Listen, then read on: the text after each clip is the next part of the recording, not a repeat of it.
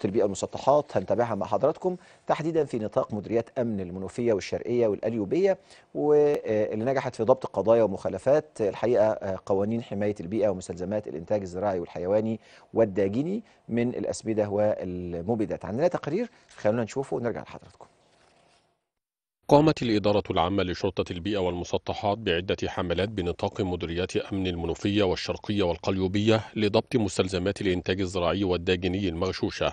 نجحت خلالها في ضبط تسع شركات ومخازن بدون ترخيص بالمنوفية داخلها أكثر من 1800 طن من الأسمدة والمبيدات الزراعية والأعلاف غير مصرح بتداولها. كما تم ضبط مصنع دون ترخيص لمستلزمات الإنتاج الزراعي بالشرقية بداخله 1400 طن مواد خام ومنتج نهائي لأسمدة ومخصبات زراعية غير مصرح بتداولها و25 ألف لتر مواد مجهولة المصدر. الإدارة تمكنت من ضبط مصنعين للأغذية والحلوى بدون ترخيص بالقليوبية.